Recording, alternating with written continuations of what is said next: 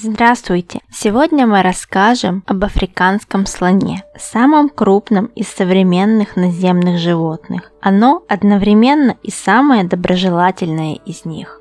Африканский слон обитает на всей территории Африки, к югу от Сахары. Несмотря на то, что африканский слон является обитателем саванны, он может приспособиться к другим условиям, поэтому встречается в районах, расположенных к югу от Сахары. Однако и там он поселяется только в местах, где есть источники питьевой воды и места для купания. Родственным видом африканскому слону является индийский слон, который немного меньше африканского. Африканский слон использует уши в качестве веера для охлаждения всего тела. С помощью хобота слоны дышат, обоняют, пьют и купаются, а кроме того добывают себе пищу и обрывают высоко расположенные на деревьях ветки. У слона есть только 4 функциональных зуба длиной 30 см, по одному с каждой стороны челюсти. Они могут отрастать до 6 раз в течение жизни животного. Бивни африканского слона – это удлиненные резцы, которые растут в течение всей жизни животного. На подошве ног африканского слона под кожей есть особая желеобразная пружинящая масса, которая позволяет ступать совершенно бесшумно. Слоны держатся семейными группами. Отношения между ними настолько тесны, что они устраивают похороны мертвым животным, прикрывая их листьями и ветвями. Слоны грустят об умерших родственниках и в течение многих часов несут караул у тела погибшего.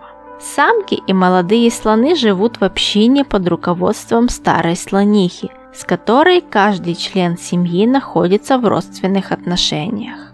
Молодых самок изгоняют из стада, как только они достигают половой зрелости.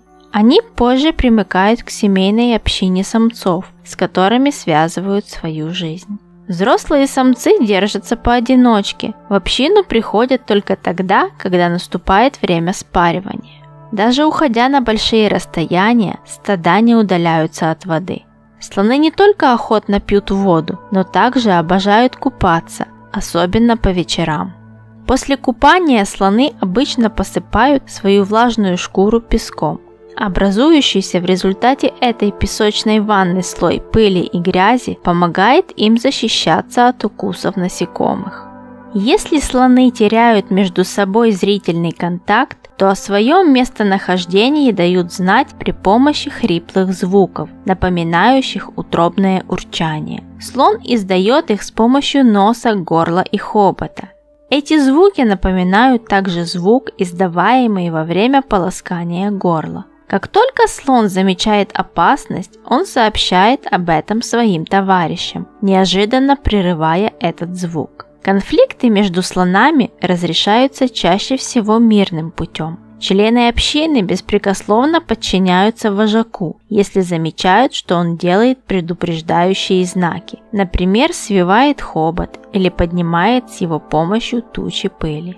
В такие минуты можно также услышать характерное для слонов трубение. Эти знаки слоны делают и для того, чтобы отпугнуть противника. Слоны – травоядные животные. Они едят разного рода травы, листья, маленькие ветки и кроны деревьев, а также фрукты. Слоны срывают их с помощью хобота и кладут в рот. У слонов есть только небольшое количество функциональных зубов. С их помощью он пережевывает пищу. Если слон лишится сразу всех зубов, то не сможет есть и погибнет от голода. Это происходит чаще всего на 70-м году жизни животного. Неудивительно, что этому огромному животному требуется такое большое количество пищи и воды. Ночь, раннее утро и вечер – это любимое время приема пищи слона. Но они также едят на ходу, пощипывая пучки трав или свежие листья. Слоны достигают половой зрелости в возрасте 12-20 лет – Перед спариванием самец и самка на некоторое время удаляются из стада. Спариванию предшествует сложный ритуал, когда животные ласкают друг друга хоботом.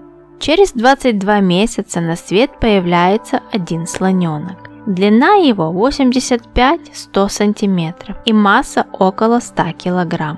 Слоненка мать кормит в течение двух лет.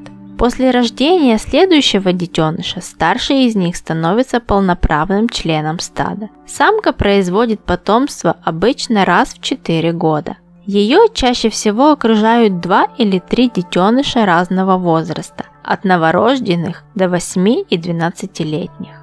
Если детенышам угрожает опасность, самка становится агрессивной. Слоны съедают около 100 кг растений в день и выпивают до 136 литров воды за раз. В засушливое время слоны роют бивнями в руслах пересохших рек ямы, куда собирается вода. Этими водопоями пользуются не только слоны, но и другие животные. Это умеют делать только немногие животные, среди них барсук. У самок бивни невелики, зато бивни старых самцов достигают огромной длины. Рекордная пара бивней была длиной 4,1 метра и массой 225 килограмм. Маршевая скорость слона составляет 8-9 км в час, и такой темп он выдерживает много часов без передышки. Стадо в поисках новой территории преодолевает до 80 км в день. Африканский слон относится к вымирающим видам. Охота на него запрещена. Однако слонов по-прежнему убивают ради ценных бивней. В самой Кении за последние годы их число уменьшилось со 150 до 30 тысяч. Охрана национальных парков бессильна перед браконьерами. Спасибо за просмотр! Подписывайтесь на наш канал, оценивайте ролик и оставляйте к нему комментарии. Впереди еще много интересного.